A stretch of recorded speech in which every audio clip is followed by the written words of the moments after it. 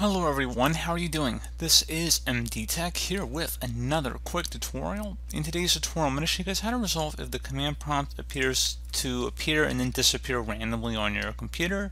Oftentimes this would be the effect of a malware infection on your computer. So this should hopefully be a pretty straightforward tutorial, and without further ado, let's go ahead and jump right into it. So we're going to start by opening up a web browser. Doesn't matter which one, but we're going to open up Google Chrome for today's tutorial and you want to just navigate over to Google so just so that we're all on the same page. And into Google you want to type in R K I L L and then just hit enter to search for it. It should be from a bleeping computer domain here so go ahead and open that up.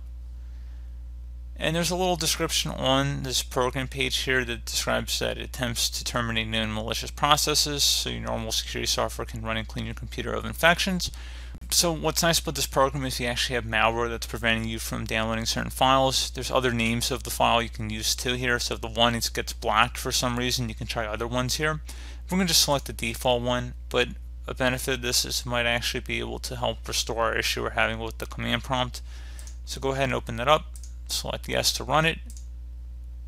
So it didn't find anything, which is good. And then I would recommend following this up with an antivirus scan. So if you have an antivirus or anti-malware program, I would run a scan with it, just see if it finds anything. And then hopefully after all you've done that, you resolve any problems it finds, restart your computer, and hopefully your issue should be resolved. So, as always, thank you guys for watching this brief tutorial. do hope I was able to help you out, and I do look forward to catching you all in the next tutorial.